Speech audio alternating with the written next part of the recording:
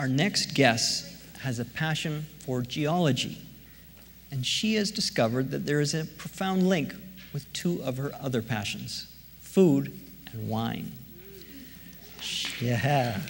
She is sought after for her understanding of how the soil and the rocks influence what we eat and drink. And she has become enthusiastic about how the unique geology of British Columbia can be one of our greatest assets. She has trained a staggering number of sommeliers in Vancouver and across North America. Please welcome DJ Kearney. Rocks. I have rocks. And I have glasses too. Um, hi, everyone. Thank you, Sam. It's so exciting to be here. I can't see any of you. It's true about the theater lights. Um, my name is DJ, and I drink for a living. I also eat and write and travel and teach. I have a really satisfying career, and it is one when I get my, remember, like Heather, to do my pictures. There we go.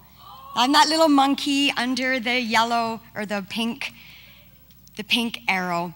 And I work in the wine business, and I am so privileged to do this. I'm so lucky.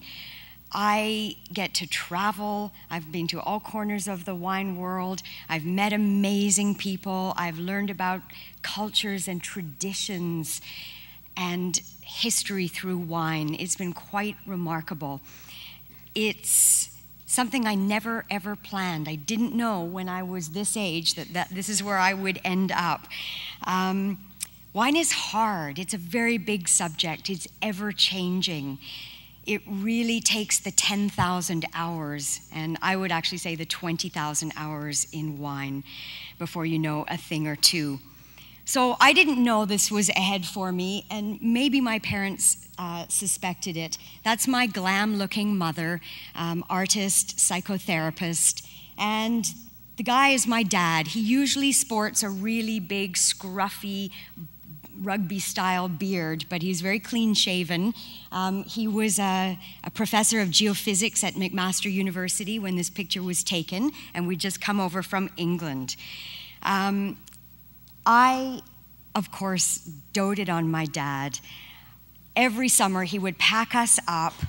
We would borrow the ex army, stinky, moldering, tents from the geology department at McMaster, and we would go camping and we would go rock hounding as well. We had family trips that took us to the Canadian Shield, to the Burgess Shale, to the Appalachian Mountains in the, in the US, and I would just be at his side. We were camping, we were holidaying, but we would find rocks along the way.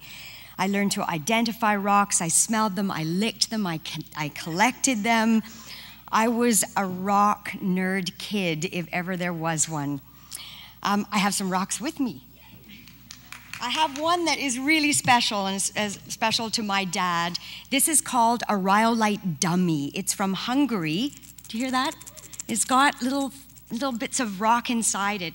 So this came out of the Carpathian Mountains in huge volcanic ex explosions. It was liquid, and then as it cooled, it encased other little rocks, and we call it a rhyolite dummy, and they're actually very rare. So when I found this one in the Tokai region, it was really exciting. This is a fossilized oyster shell from the Chianti region in Tuscany. No more oyster um, a, a, piece, a, a, piece of chalk from uh, Australia, from the Adelaide Hills. A piece, Sam mentioned BC, and I have an amazing piece of schist here uh, from the South Okanagan. We have very old and very important and special geology. And this is a rock from Austria. And Jason Yamasaki, one of my star students, BC Sommelier of the Year in 2014, gave this to me when he came back from Austria. Um, so I treasure it. I treasure all these rocks.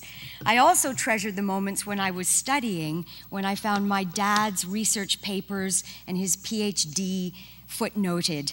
When I was a kid, I could say words like dodecahedral and sillimanite and kyanite. I understood plate tectonics. I was lucky. I was lucky. And what's even luckier is that rocks and geology are such an important part of wine.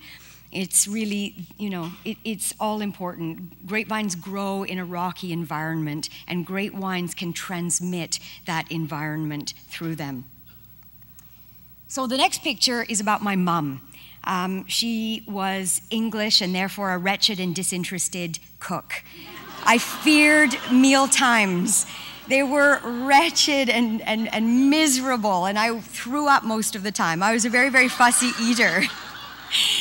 which is a shame, but it, that's, that's the way it was. Her bangers and mash weren't bad at all. Um, but I had a meal when I was 12 years old that changed everything. My dad took me for Greek food. Uh, he was a professor in, in Ontario, in Toronto at that time, and we had some, some food on the Danforth. And it was just like this lamb and those gorgeous lemon potatoes and vegetables. And I discovered for the first time that food could taste. and that it could taste good, really, really good. And I wanted more. So I had to do it myself. And I went, I taught myself how to cook. I went to the library, I took out cookbooks, and bit by bit, I started to take over the family meals. My mom loved it. She was never happier. My first job as a 13 year old was cooking scones for a restaurant. And every weekend, I would cook 12 dozen scones for a local restaurant. Um, I eventually went to culinary school. Uh, this was a deep need inside me that I recognized, so I filled in the gaps in my knowledge. I learned how to cook professionally, and I did that for a while. But along the way, as one does in the food business, I discovered wine. I'd been drinking a long time, stealing sherry from my parents and things like that. But I had this wine. Um, it was from Spain the region of, of Rioja, a beautiful producer, and it was an old, old bottle. And I tasted that wine, and I just stopped dead in my tracks. It made the hair on the back of my neck stand up. It gave me goosebumps. It made me laugh. It made me cry. And it made me think how can wine do this? How can wine evoke so much emotion? Pull out so much feeling from a liquid, from fermented grape juice? Well, I had to find out, so I went back to school and learned to study more, and I did every program that was possible um, a long time ago. I got my sommelier diploma, my WSET level four. Um, I enrolled in the Master of Wine program, and then after, in the middle of those 10,000 hours, I uh, started to teach. And I learned I love to teach more than anything else. And I've taught thousands of students, as Sam said, which has been very, very gratifying, putting the rock knowledge, the food knowledge, um, and the 10,000 hours together. Sports is a huge focus in my life. That's why I don't look like the diagram that uh, Diane mentioned. Uh, you got to offset the wreckage of this industry. Um, so I got my black belt when I was 35. Yes, I'm a late bloomer. This was a special race, that 100th anniversary of the Boston Marathon. Um, I had kids along the way. I uh, brought a couple of wine drinkers into the world, my twins, Sean and Alex, and they're 17 in this picture. So that is not wine in their glasses at all. It's apple juice, I'm pretty sure of it. Um, along the way, I started working at Vancouver Magazine, where I was lucky enough to be the drink editor, a judge, and then the, um, the chief judge of the wonderful wine competition that I love so much. And now I hang my hat at a very special place called New District. And again, this is where my entire career comes together, um, where I help people be unfussy and unfearful about wine. It's an online wine store, it's a website where you can cruise around and choose things that help you learn as well. Wine has a weird intimidation factor that's not part of any other industry. You're not fearful when you choose your Tide or your Nespresso pods, but with wine, it's very different. So let's relax about wine. Um, I've given you a little coupon for 15% off for this website in your program. Use it or not, but let's, um, let's be unfearful and unfussy about wine. And thank you so much for your time.